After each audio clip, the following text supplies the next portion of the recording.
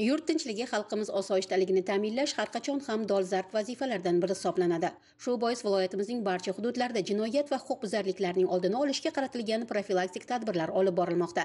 Urgut tumanida jinoyat va huquqbuzarliklarning barvaqt oldini olish jamoat tartibini saqlash kriminogen vaziyat barqarorligini ta'minlash maqsadida keng qamrovli profilaktik tadbirlar doimiy tarzda tashkil etilmoqda. Profilaktika nozirlari yo'l patrul xizmati milliy gvardiya va soliq inspeksiyasi xodimlaridan iborat tarkib el osoyish osoyishtalik uchun o'z xizmat vazifalariga kirishdi.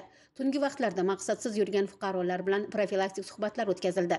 Yo'l harakati qoidalariga bo'ysunmagan haydovchilar to'xtatilib ularga qonuniy choralar ko'rildi. Shundan so'ng viloyat prokurori birinchi o'rinbosari va viloyat ichki ishlar boshqarmasi boshlig'i birinchi o'rinbosari qizil toifadagi mahallalarda bo'lib hududni jinoyat va huquqbuzarliklardan xoli hududga aylantirish borasidagi ishlar bilan tanishdilar. Bu yo'nalishdagi profilaktik tadbirlar tumandagi barcha mahallalarda davom etmoqda.